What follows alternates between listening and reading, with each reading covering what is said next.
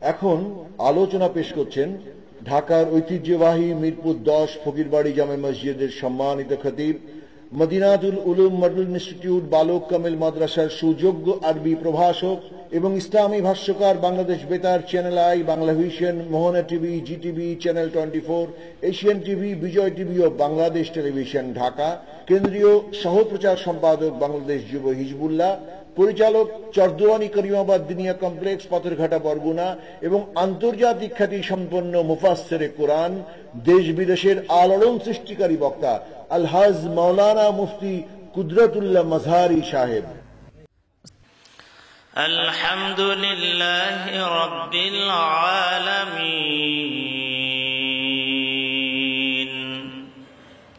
والعاقبة للمتقين.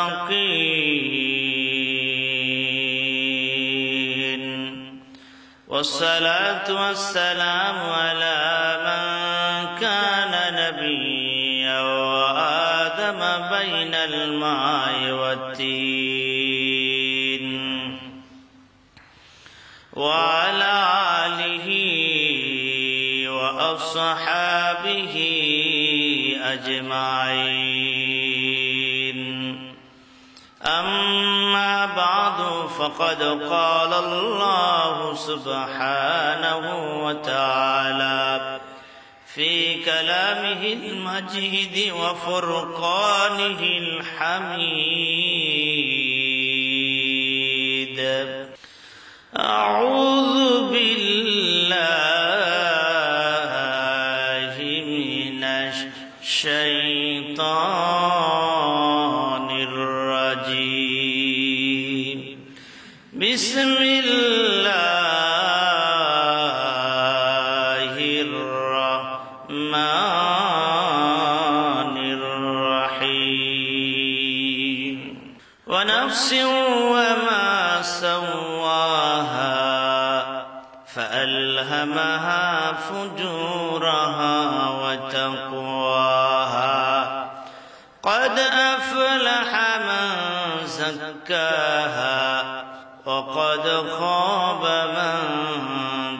دساها صدق الله العظيم وصدق رسوله النبي الحبيب الكريم. وقال تعالى في شان حبيبه مخبرا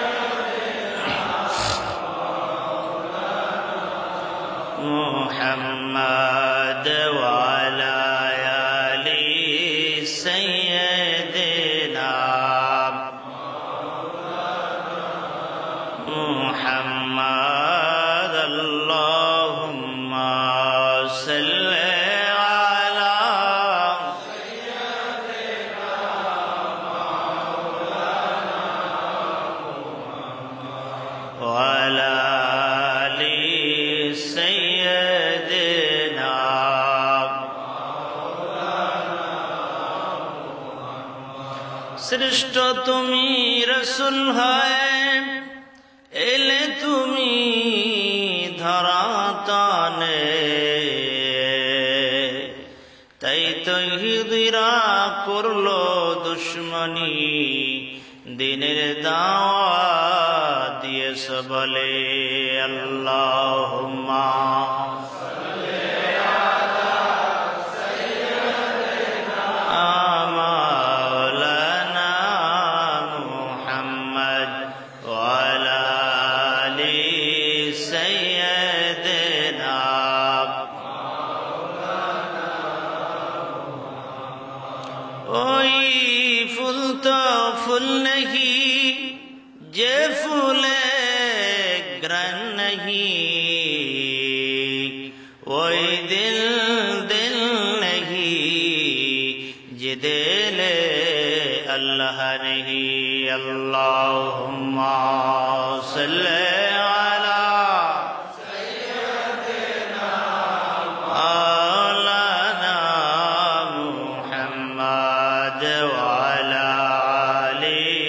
سيدنا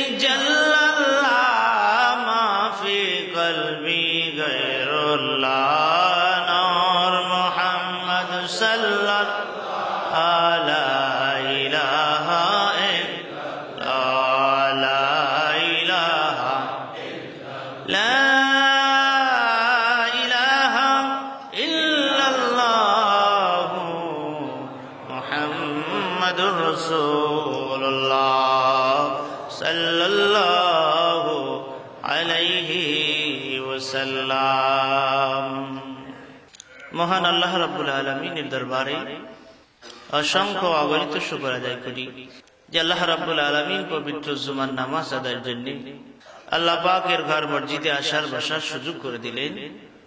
সেজন্য আল্লাহ পাকের দরবারে লাখো কোটি শুকর আদায় করি। আমরা সকলে পড়ছি, আলহামদুলিল্লাহ। আজকের খুব আলোচ্য বিষয় হচ্ছে ইলমে মারেফত। বিষয়টি খুবই গুরুত্বপূর্ণ। ইলমে শব্দের অর্থ হচ্ছে জ্ঞান। মারেফত শব্দের অর্থ হচ্ছে পরিচিতি লাভ করা। অর্থাৎ বান্দার সাথে আল্লাহর পরিচয় লাভ করা।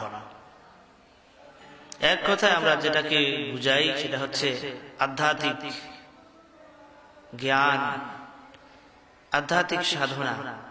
আধ্যাত্মিক সাধনা করা আত্মার সাধনা করতে আল্লাহ বলছেন। আল্লাহ ইরশাদ করে ونفس وما سواها ونفس আত্মার কসম সাওয়াহা আল্লাহ তাআলা আত্মাকে প্রশস্ত করেছেন বিকশিত করেছেন আত্মার উৎকর্ষ সাধন করেছেন ফালহামাহা ফুজুরাহা ওয়া তাকওয়াহা আর যাবতীয় ভালো মন্দ থেকে কদ আফলাহা জাক্কাহা যে ব্যক্তি আত্মাকে পরিশুদ্ধ করতে পারল, সে ব্যক্তি সফল কাম হল। আর যে আত্মাকে পরিশুদ্ধ করতে পারে নাই, সে ধ্বংস হাদিসের ভিতরে আমরা সুন্দর করে পাই, আল্লাহ তালা ইরশাদ করে, আল্লাহ নবী রসুল পাক সাল্লাহ আলী সাল্লাম ইরশাদ করে, ইন্নাল্লাহ লা ইয়ানজুরু ইলা সুওয়ারিকুম। আল্লাহ তোমাদের দেহ এবং শরীরের দিকে তাকান না। ওয়া আমালুকুম তোমাদের ধন সম্পদের দিকে তাকান না। আল্লাহ তাআলা তাকান বান্দার আত্মার দিকে বলেন না, সুবহানাল্লাহ। কে ধলা, কে কালা? কে ধনী, কে গরিব? কে খাটো, কে লম্বা? এটা আল্লাহর কাছে কোনো বিবিচ্য বিষয় নয়। কে দামি পোশাক পরলো আর কে নর্মাল পোশাক পরলো, এইটা কোন আল্লাহর কাছে বিবিচ্য বিষয় নয়। আল্লাহ এই দিকে তাকান না, কে মোটা, কে শুকনা, কে সুস্থ, কে অসুস্থ। এগুলো বিষয় নয়, বরং আল্লাহ বলে আল্লাহ বলেন, আল্লাহ তালা বান্দার আত্মার দিকে তাকান। কি আমল করে আর কি আমল করে না, এইটা আল্লাহ দেখতে চায়। আল্লাহ তাআলা সুন্দর করে জানিয়ে দিলেন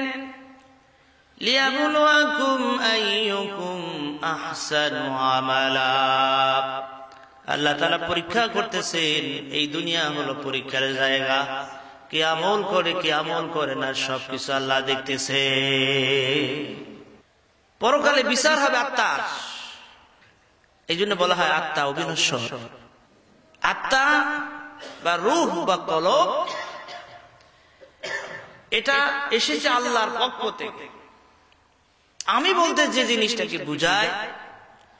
এই যে আমি বলতে যে জিনিসটাকে আমরা বুঝে থাকি এটাকে বলা হয় রুহ বা কলব কাফেরারা প্রশ্ন করল ইহুদিরা প্রশ্ন আনির হুজুর আপনি বলুন রূহ কি জিনিস? আল্লাহ পাক আল্লাহ নবীকে জানিয়ে দিলেন, হুজুর আপনি বলে দেন, কুলের রুহে মিন নামরি রব্বি, রূহ হচ্ছে আল্লাহ পাকের পক্ষ থেকে একটা হুকুম, বলেন সুবহানাল্লাহ। আমরা আলমে আরমায় ছিলাম, রুহের জগতে ছিলাম, সেখান থেকে আলমের দুনিয়া এসেছি, এটা আল্লাহর হুকুম। যতদিন আল্লাহ তাআলা আপনাকে আমাকে দুনিয়া থাকার সুযোগ দিবেন, ততদিন দুনিয়া আসি যখন আল্লাহর পক্ষ থেকে নির্দেশ হয়ে যাবে, আর দুনিয়ায় থাকার সময় নাই। আত্মা তুমি চলে আসো, সঙ্গে সঙ্গে আপনাকে আমাকে এই দুনিয়া ছেড়ে চলে যেতে হবে। দুনিয়ার ডাক্তার, দুনিয়ার চিকিৎসা বিজ্ঞান, দুনিয়ার কোন শক্তিধর আপনাকে আমাকে ধরে রাখতে পারবে না। তাহলে আত্মা এটা আপনার আমার কথা শোনে না, এটা আল্লাহর কথা শোনে।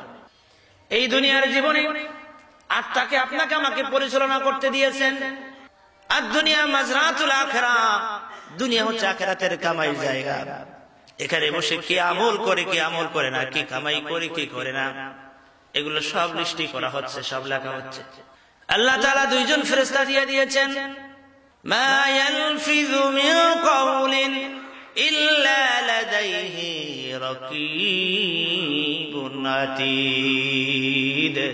আপনার ডান কাঁধে একজন ফেরেশতা আমার ডান কাঁধে একজন ফেরেশতা।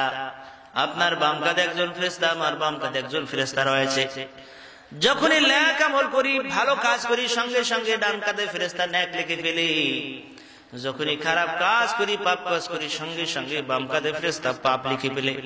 সব কিছু রেকর্ড হচ্ছে সব কিছু আপনার আমার ফেরেস্তারা লিখে রাখতেছে। এই দুনিয়ার জীবনে আপনার আমার আত্মাকে কীভাবে চাইলাম সব কিছু রেকর্ড হচ্ছে। আত্মাকে কীভাবে চালাবো? একটু গভীর ভাবে মনোযোগ দিয়ে কথাটা শোনা দরকার। যে জিনিসের উৎপত্তি যেখানে তার খাবারও কিন্তু সেখান থেকে আসে। আপনার আমার দেহ মাটি দ্বারা তৈরি। এই মানুষের দেহ মাটি দ্বারা তৈরি করেছেন আল্লাহ তালা এর খাবারও কিন্তু মাটির থেকে আসে। মেশিন, কলকারখানা, লোহা দিয়ে তৈরি হয়। আর ওই মেশিন, কলকারখানার খাবারও কিন্তু, মেশিনের খাবারও কিন্তু ওই মাটির নিচ থেকে খনিজ থেকে লোহা যেমনি ভাবে আসে ওর খাবারও তেল পেট্রোল ওটা খনিজ থেকে আসে। অর্থাৎ যার উৎপত্তি যেখান থেকে তার খাবারও সেখান থেকে আসে। আপনার আমার রুহ আপনার আমার কলবের উৎপত্তি হলো আল্লাহর পক্ষ থেকে। আলমে আনহা রুহের জগৎ থেকে এসেছে। এই রুহু বার্তা এটা মাটি দ্বারা তৈরি নয় এটা আল্লাহ পাকের একটা হুকুম আল্লাহ পাকের একটা নির্দেশ। আর এর খোরাক বা এর খাবার আল্লাহর নির্দেশ, আল্লাহর কোরআন, আল্লাহর নবীর হাদিস। আল্লাহর বাণী, জিকির, আল্লাহর ইবাদত, বন্দিগি, এটাই হলো রুহু আর তার খোরাক। বলেন না, সুবহানাল্লাহ। আপনি যদি আপনার আত্মাকে ভালো পথে চালান, তাহলে আত্মা ভালো থাকবে। আর আত্মাকে যদি আপনি খারাপ পথে চালান, তাহলে আত্মা দুর্বল হয়ে যাবে। এই জন্য আল্লাহ নবী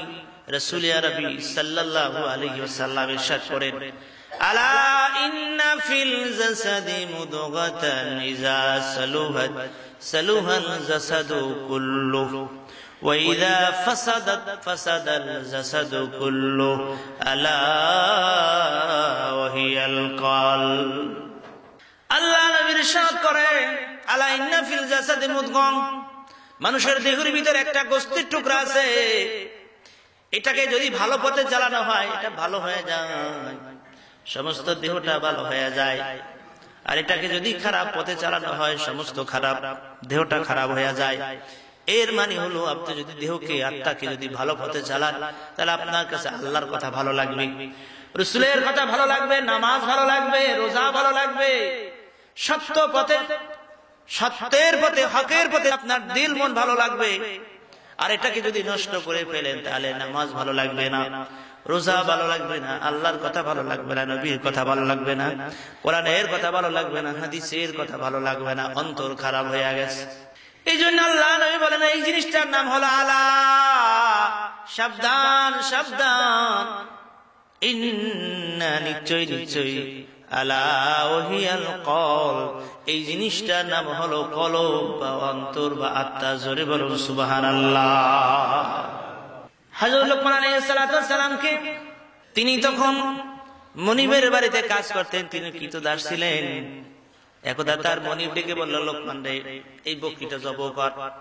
এই বকরির সবচাইতে ভালো জিনিস এটাকে তুমি পাক করে আমাকে খাওয়াও। হাজর লোকমান আলী সালাম জব করলেন কলিজে ভুনা করলেন। এরপর পেশ করলেন, বলে, এটা সবচেয়ে ভালো জিনিস, খান। মনিব খাইলেন। আবার কিছুদিন পর লোকমান আলী সালাম কি, তার লোকমান, এই বকরিটা জব করো, সবচাইতে যে খারাপ জিনিসটা, এটা পাক করো। আমাকে খাওয়াও। কলিজা পাক করলেন মনিবকে খাওয়ালে। মনিব বললেন, ওদিন সেদিন বলেছিলাম ভালো জিনিস, তাও কলিজা খাওয়াইলা। আর আজকে বললাম, খারাপ জিনিস, তাও কলিজা খাওয়াইলা। এর মানে কি? লোকমান বলেন আল্লাহ এই কলি। কলিজাই ভালো, আর এই কলিজাই খারাপ। এই কলিজা যার ভালো, তার সবকিছু ভালো। এই কলিজা যার খারাপ, সবকিছু খারাপ বলেন সুবাহান এই জন্য আপনাকে আমাকে, অন্তরকে আপনাকে আমাকে চালাতে হবে, ভালোর পথে, কল্যাণের পথে। দিনের পথে ইসলামের পথে। আপনি যদি চালান, পরকালে মুক্তি পাবেন। আর যদি চালাইতে না পারেন, পরকালে ধরা পড়ে যাবেন কারণ আত্মার বিচার হাতে আত্মা অবিনশ্বর। আত্মার বিচার হবে, আত্মার জবাব দিতে হবে আল্লাহর দরবারে। এই জন্য আপনাকে আমাকে ভালো পথে চলতে হবে। মন চাইবে খারাপ পথে, কারণ আত্মার ভিতরে তিনটে অংশ আছে।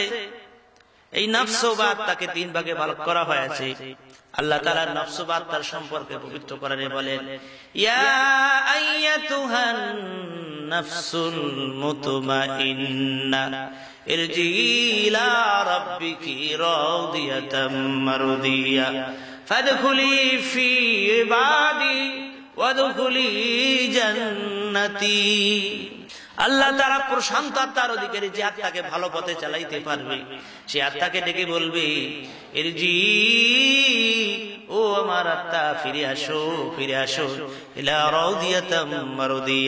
আল্লাহর খুশি দিকে ফিরে আসো, আল্লাহর খুশি দিকে ফিরে আসো, আল্লাহর জান্নাতে প্রবেশ করো, চিৎকার দিয়ে বলুন সুবাহান আল্লাহ এই নফসের ভিতরে আত্মার ভিতরে আল্লাহ পাকের এই আত্মা যদি প্রশান্ত হয় আত্মা যদি ভালো হয় যার আত্মাটা ভালো তার আত্মার এত দাম ওই আত্মা হলো আমার আল্লাহ পাকের বাড়ি আল্লাহ পাকের আরো জোরে বলুন সুবহান আল্লাহ من গুঞ্জম در জমিন আসিমা من গুঞ্জম در জমিন আসিমা নেকি গুঞ্জম দর কুলুবে মোমেনা, নেকি গুঞ্জম দর কুলুবে মোমেনা। আল্লাহ তাআলা বলেন, কবি সুন্দর করে আল্লাহর ভাষাটা বুঝাইতে চাচ্ছেন। আল্লাহ তাআলা আসমানে সময় হয় না, আল্লাহ তালা জমিনে সময় হয় না, আল্লাহ তালা সময় হয় প্রশান্ত অধিকারী, আত্মার অধিকারী।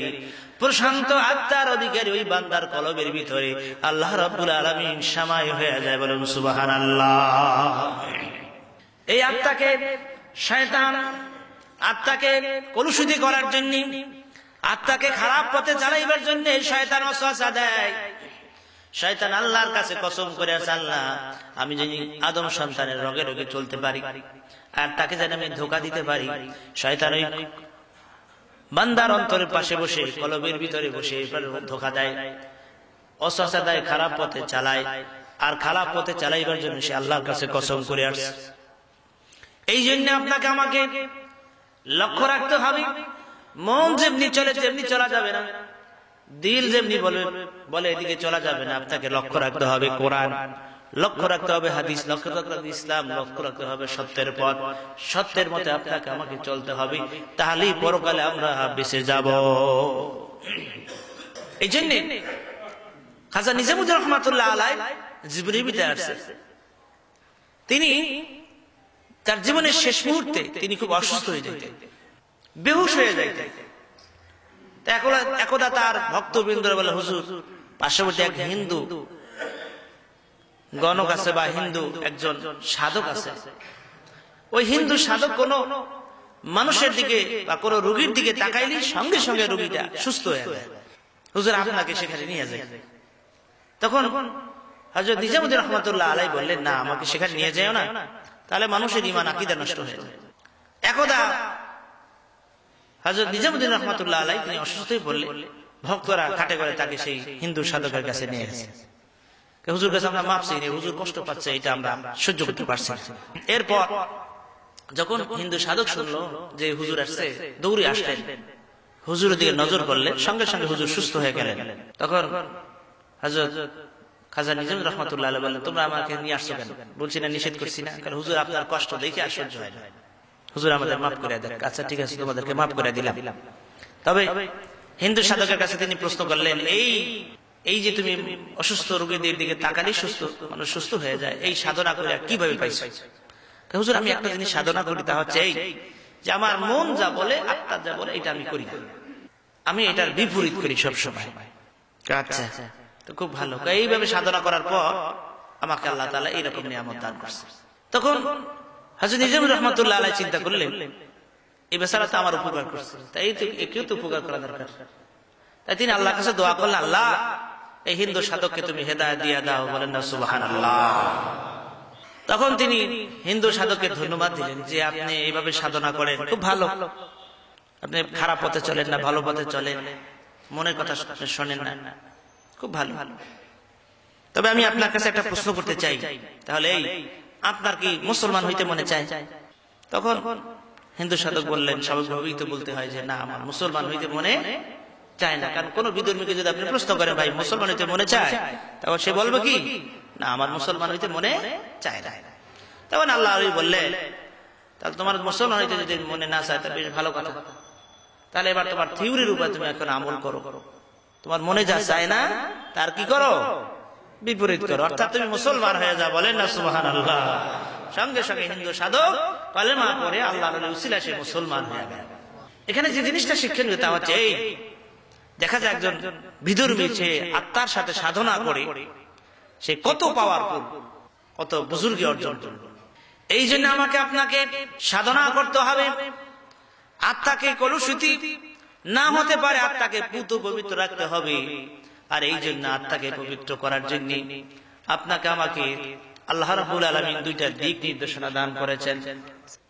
আমরা একটু জেকের করি লাইলাহা لا إله إلا الله لا إله لا إله حسبي ربي جل الله ما في قلبي لا إله إلا الله. لا إله لا إله حسبی ربی جل اللہ معافی قلبی۔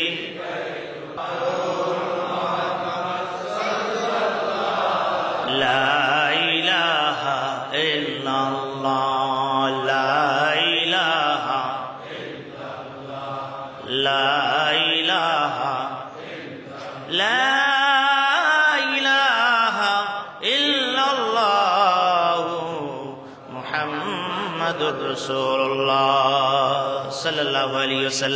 শরীর যেভাবে অসুস্থ হয় এবং ডাক্তার দেখাতে হয়, বিভিন্ন আমাদের শরীরে দেহেতে রোগ হয় এবং চিকিৎসকের কাছে গিয়ে চিকিৎসা করতে হয়। ঠিক তদ্রুপ ভাবে আত্মারও রোগ হয় এবং আত্মাকেও পরিশুদ্ধ করার জন্য আত্মার চিকিৎসক ডাক্তারের কাছে যেতে হয়।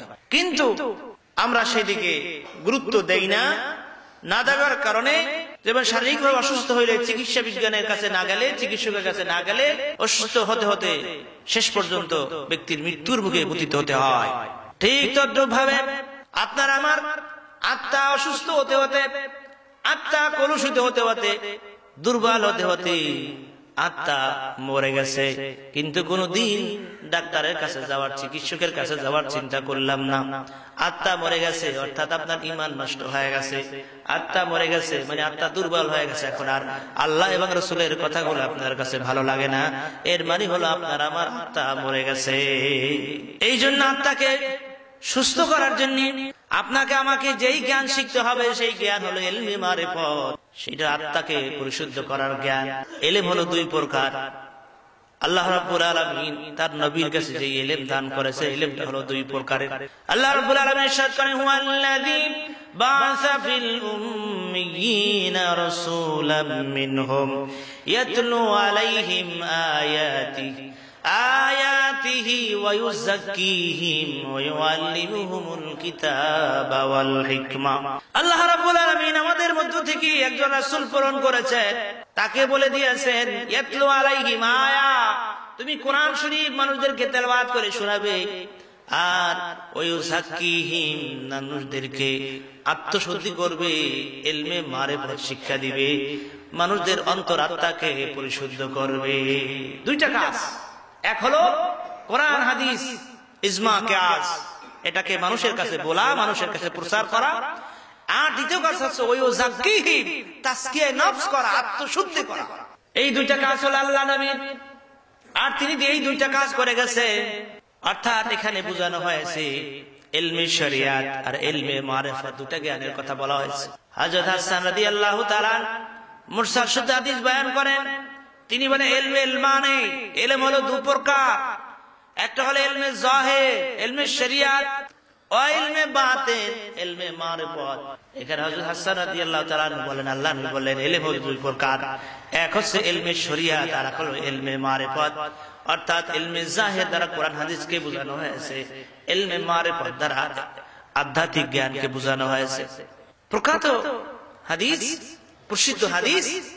হাদিস ইব্রাহিম এর ভিতরে আসছে عن عمر بن الخطاب رضي الله تعالى عنه أنه قال قال رسول الله صلى الله عليه وسلم ذات يوم استطلع علينا رجل بياض الثياب شديد السواد الشر لا يرى أحد حتى ذا الرسول صلى الله عليه وسلم فأسند ركبتيه إلى ركبتيه قال يا محمد أكفنا الإسلام আল ইসলাম আন তাশহাদু আল্লা ইলাহা ইল্লাল্লাহ ওয়া ইকামুস সালাহ ওয়া ইতাইজ যাকাত আল হজ সাওম রমাদান قال صدقت فعذبنا له. قال فاخبرني عن الايمان قال أن تؤمن بالله وملائكته وكتبه ورسله. قال صدقت فعذبنا له. قال فاخبرني عن الإحسان قال أن تعبد الله كأنك تراه فإن لم تكن تراه فإنه يرى رواه الشيخان বুখারী মুসলিমের ভিতরে আসছে হযরত ওমর ইবনে খাত্তাব রাদিয়াল্লাহু তাআলা বলেন একদা আমরা আল্লাহ নবীর সামনে বসা এমন সময় একজন ব্যক্তি আমাদের মাঝে আগমন করলেন মাথার চুলগুলো কুচকুচে কালো পোশাক শরীর সাবধাবে ধরা, সাদা পোশাক সফর থেকে এসতে এরকম কোন চিনা তার গায়ে দেখা যায় না। মনে হয় এই তো মাত্র বাসার থেকে বের হয়ে সাজা সেজে গুজে আমাদের মাঝে হাজির হয়েছে। আমরা কেউ তাকে চিনি না। কোনদিন ওই ব্যক্তিকে আমরা কোনদিন দেখি নাই। ওই লোকটা এসে আল্লাহ নবীর পাশে পাঁচ তাদের রূপপাতাই হেলা রূপপাতাই আল্লাহ হাবিবের উরুর সাথে উরু মিলাইয়া বসলেন, বলেন সুবাহান আল্লাহ এমনকি আল্লাহ হাবিবের ওর হাত রাখলেন। এরপর প্রশ্ন করলেন আপনি বলেন, মাল ইসলাম ইসলাম কাকে বলে? আল্লাহ নবী বললেন, আল ইসলাম ইসলাম হলো আল্লাহ ছাড়া মাবুদ নাই। ওয়ান্না আর মুহাম্মদ বান্দা নামাজ কায়েম করা। অতুতু হজ করা। সাবিলা। সৌমে রমজান রমজান মাসে রোজা রাখা। এভাবে হুজুর বললেন। ওই লোকটা বললেন কলা সাদাকতা হুজুর আপনি ঠিক বলছেন। উনি প্রশ্ন করতেছেন আর তিনি জবাব দিতেছেন হুজুর আপনি উত্তর ঠিক বলছেন। তাহলে বোঝা যায় উনি উত্তর আগ থেকে জানে বলেন সাহাবা একরাম আশ্চর্য হলেন। ওই লোকটা আবার প্রশ্ন করলেন আখবিনি আনিল ইমান? হুজুর আপনি বলুন ইমান কাকে বলে? আল্লাহ নবী বলে ইমান হলো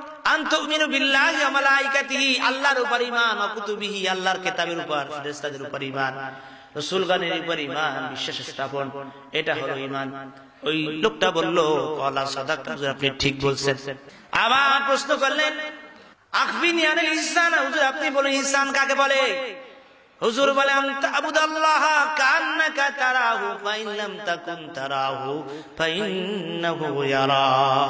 এইভাবে তুমি নামাজ আদায় করো, যেন নামাজে তুমি আল্লাহকে দেখতে পাচ্ছ। আল্লাহকে যদি দেখতে না পাও, তাহলে এই ধ্যান এবং খেয়াল রাখো। আল্লাহ তাআলা তোমাকে দেখতে পাচ্ছে, বলেন সুবহানাল্লাহ। এই হাদিসের ভিতরে তিনটা বিষয় প্রশ্ন করা হলো। প্রশ্ন করে দেওয়ার জন্য তিনি আসলেন।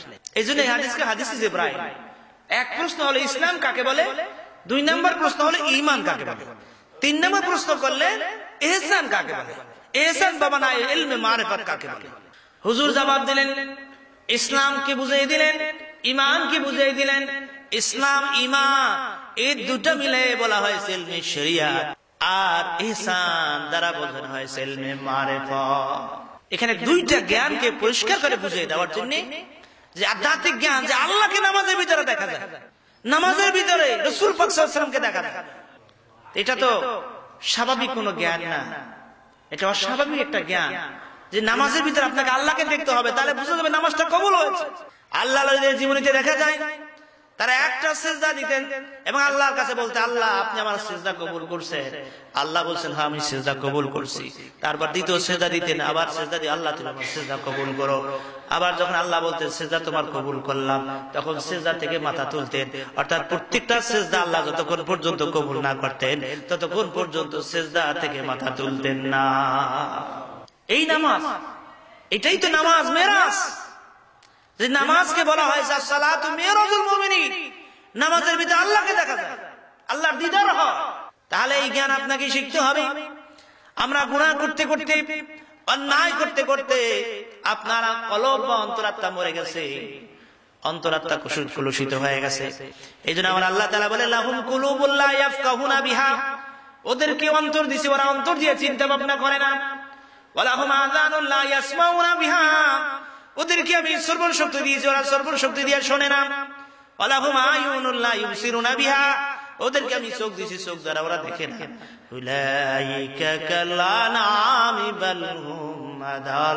ওরা চতুষ্পা জন্তু, জানোয়ার চাইতেও খারাপ। আল্লাহ মানুষদেরকে বুঝাচ্ছে মানুষের শুনে না। তোমাদের অন্তর দিছি, অন্তর দিয়ে তোমাদের চিন্তা ভাবনা করতে হবে। এই দুনিয়ার জন্য তোমাদের থাকার জন্য। দুনিয়ায় গাড়ি বাড়ি, দুনিয়ার পিছনে মত্ত হওয়ার জন্য তোমাদের দুনিয়ায় পাঠাই না যদিও মত্ত হও, কিন্তু দুনিয়ায় চিরদিন থাকতে পারবে না। সময় যখন হয়ে যাবে করে আমি তোমাদেরকে নিয়ে আসব।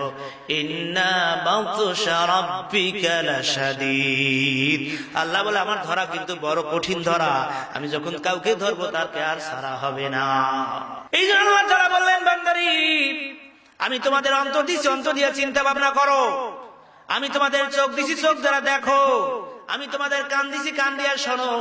আমরা তো কান দিয়া শুনি, চোখ দ্বারা তো দেখি। তাহলে কি আল্লাহ বুঝাইতে চালিলে? এই চোখ ছাড়া আর একটা চোখ আছে, এই কান ছাড়া আর একটা কান আছে। এই কান যদি চোখ অর্জন করতে পারেন, তাহলে আপনি মানুষ, সৃষ্টির সৃষ্ট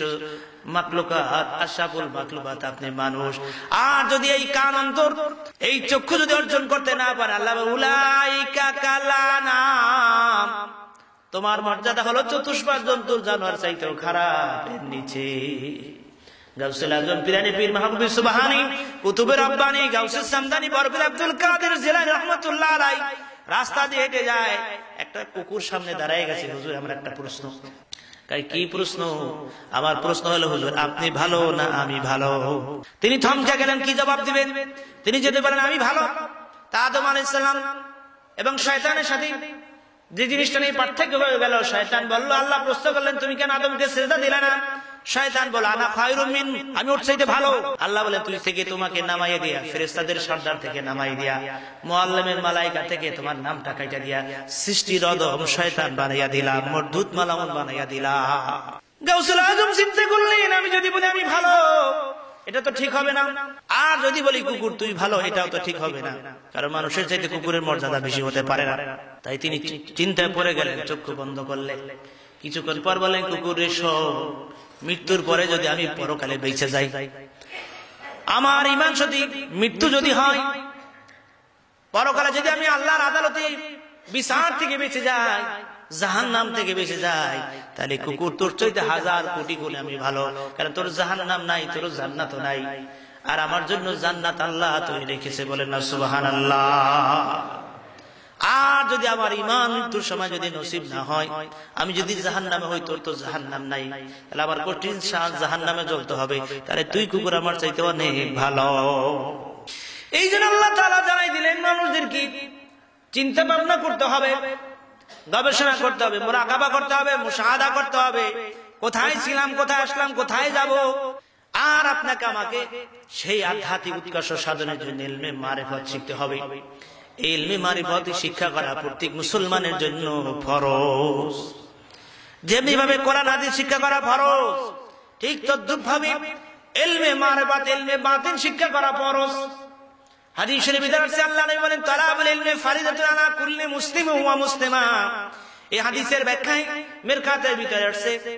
এই দিন শিক্ষা করা ফরজ, ঠিক শিক্ষা করা আজ থেকে তেরোশো বছর আগে ইমাম মালিক রহমতুল্লাহ আলাই ফতুয়া দিয়ে গেছেন, ও পৃথিবীর মানুষ শোনো, যে ব্যক্তি এলমে শরিয়া শিক্ষা করল অর্থাৎ কোরআনের জ্ঞান শিখলো, হাদিসের জ্ঞান শিখলো, এলমে মারেফাত শিক্ষা করল না।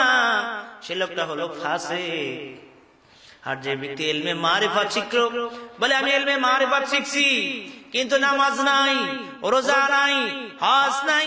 জাকাত নাই, শরিয়াত নাই, কোরআন নাই, হাদিস নাই, ব্যক্তির আমলে ওই লোকটা হলো ভণ্ড, ভণ্ডের দাবিদার।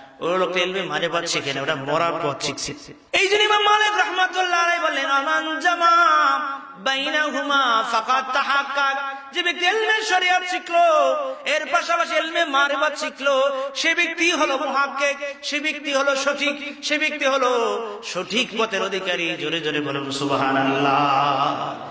এই জন্য আপনাকে এলমে শরিয়াত শিখতে হবে, অর্থাৎ কোরআনের জ্ঞান শিখতে হবে, হাদিসের জ্ঞান শিখতে হবে, নামাজ ধরতে হবে, রোজা ধরতে হবে, হালাল হারাম ধরতে হবে, পর্দা পশিদা ধরতে হবে, অর্থাৎ কোরআন হাদিস মোতাবেক চলতে হবে, এরপর আধ্যাত্মিক সাধনা করতে হবে, এরপর আপনাকে আমাকে আত্মা উৎকর্ষ সাধনের জন্য আপনাকে মোরাকাবা, মশাহাদা রিয়াজা হক্কানি আল্লাহর হৃদের কাছে গিয়ে এলমে মারে বতের এলেম শিক্ষার চেষ্টা করতে হবে। আর আপনি যখন এলমে মারে মা শিখতে পারবেন তখন আপনার অন্তরাত্মা খুলে যাবে।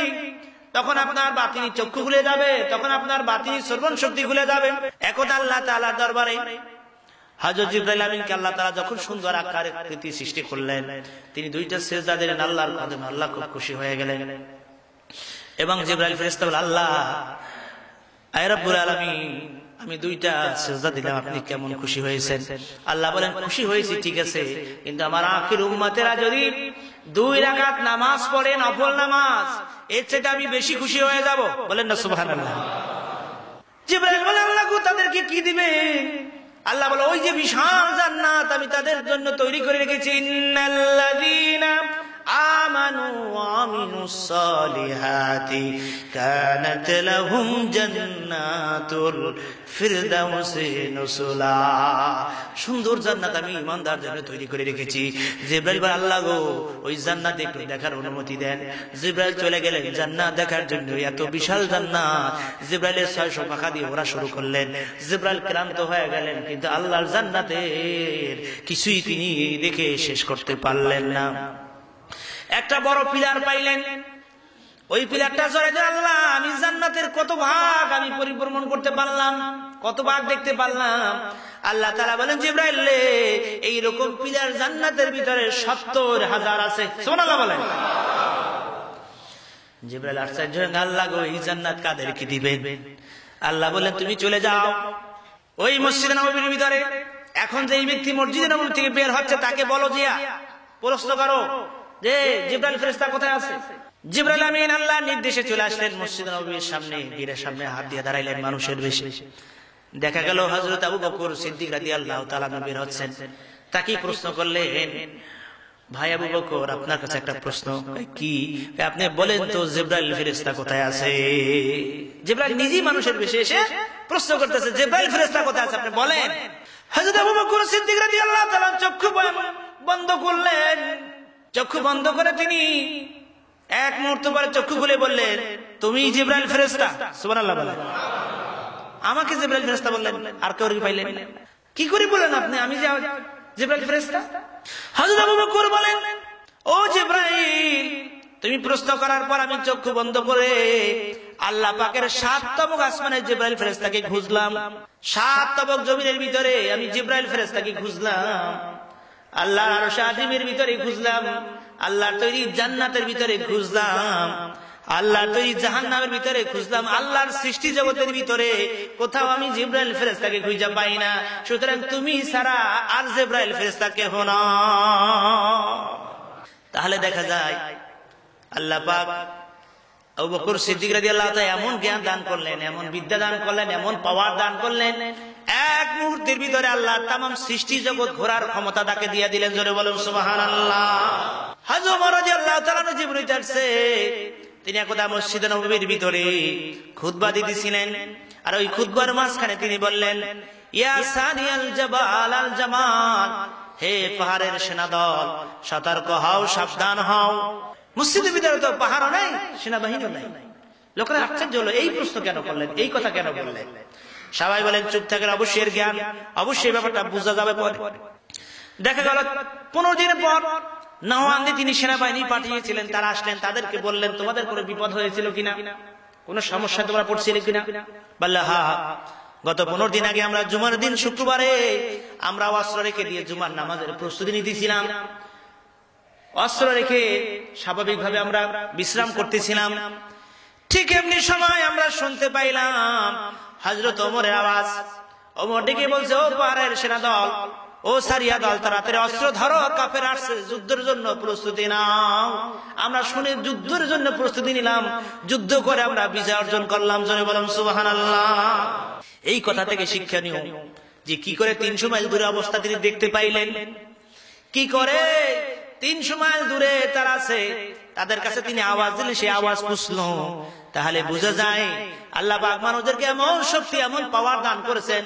তাম পৃথিবীতে কোথায় কি হয়, আল্লাহর সব দেখতে পায়। সামদানি আব্দুল পৃথিবীর মানুষ শোনো রে যদি কোনো আমার ভক্ত কোনো বিপদে পড়ে যায় কোন ঘুমিয়ে যায়। তার ঘুমের থেকে যদি কাপড়টা তার হাঁটুর উপর উঠে যায়, আমি আব্দুল কাদের জেলে রহমাতুল্লাহ কাপড় টেনে নামাইয়া দেওয়ার মতো ক্ষমতা রাখি। আজমের জীবনী কাটছে যে একদা কিছু লোক এসে হুজুর, আমরা তো অনেক দূরে থাকি, সেখানে আপনার কথা শুনতে পারি না ও আপনার ওয়াজ নসিহতগুলো শুনতে পারি না। হুজুর, কি করে শুনব? আমাদের একটা পথ বাতলাই হুজুর বলেন প্রত্যেক বৃহস্পতিবার, সন্ধ্যার পর আমি দিনের আলোচনা করি এলমে শরিয়াত এলমে মারিফতের বয়ান করি। তখন তোমরা সন্ধ্যার পরে পাহাড়ে উঠবা, একটা কুণ্ডলিকা দিবা, আর এর ভিতরে আমার খেয়াল করবা, দেখব তোমরা শুনতে পারবা, তারা বলেন, আমরা সেই মাইলকে মাইল ধরি পাহাড় উপর উপরে যখন নিরিবিলি বসতাম, গাউসুল আজমের বক্তৃতা বয়ান, আমরা সেই পাহাড় উপর বসে স্পষ্ট আওয়াজে শুনতে পারতাম। যারা হয়, কবর যে কি অবস্থায় মানুষ আছে, সব দেখতে পায়। কবর আজাব হয়। এক আল্লাহ তার খাদেমকে ডেকে বলে, বাবা, তুমি তো আমার খেদমত করো। তাহলে কবর অবস্থা কি? দেখতে পাও? হুজুর, পাই নাই। রাগ করলেন, একটা থাপ্পড় দিলেন। লোকটা দৌড় শুরু করলেন কবরের কাছে গিয়ে তিনি বেহুশ পড়ে গেলেন। বলেন, এসে বলে, হুজুর, এখন আমি কবরে কি অবস্থা? কি আজাবে আছে? কি শাস্তিতে আছে? কি সুখী আছে? আমি সবকিছু দেখতে পাই। যিনি আল্লাহরই হবে তিনি কবরে কি অবস্থা, কি হালে আছে সব দেখতে পায়, শুনতে পায়। তাদের অন্তরাত্মা খোলা, সবকিছু তারা দেখতে পায়, সবকিছুই শুনতে পায়। এসব ভেদের কথা এটা বুঝা যাবে না। কিন্তু যাকে আল্লাহ তালা বা তিনি শ্রবণ দান করেছেন বা তিনি জ্ঞান দান করবে যাকে আল্লাহ ইলমে মারে বা দান করেন সেই বুঝবে। নাহলে এই সব কথাগুলো বুঝতে আসবে না। এই জন্য আপনাকে আমাকে এলমে শরিয়াতের পাশাপাশি হকানি আজকের ভণ্ডর অভাব নাই হকানের অভাব এই জন্য হকানি আল্লাহ আলীদের হাতে হাত দিতে হবে। এলমে শরিয়াতের পাশাপাশি এলমে মারে মারেফাতের সাধনা করতে হবে। বেশি বেশি করে জেকের করতে হবে। বেশি বেশি করে দুরুদ শরীফ করতে হবে। বেশি বেশি করে আল্লাহর ইবাদত বন্দিকে যখন করেন, হাদিসে কুচ্ছির কথা, বুখারী শরীফের কথা, যে ব্যক্তি আল্লাহর ওলি হতে চায়, সে যেন ফরজ ইবাদত সঠিকভাবে করে। এরপরে নফল এবাদত যখন দাওয়াম ভাবে করতে থাকে, তখন ওই ব্যক্তির হাত আল্লাহর কুদরতি হাত হয়ে যায়। ওই ব্যক্তির পা আল্লাহর কুদরতি পা হয়ে যায়। ওই ব্যক্তির জবান আল্লাহর কুদরতি জবান হয়ে যায়। ওই ব্যক্তি যখন কিছু দোয়া করে, সঙ্গে সঙ্গে আল্লাহর দরবারে মঞ্জুর হয়ে যায়। এই জন্য আল্লাহ পাক আমাদের সকলকে এলমে শরিয়াতের পাশাপাশি, এলমে মারেফত এর জ্ঞান অর্জন করা তৌফিক দান করুন। আমি ও আখির দাওয়ানা, আলহামদুলিল্লাহি রাব্বিল আলামিন। আসসালামু আলাইকুম ওয়া রাহমাতুল্লাহি ওয়া বারাকাতুহু।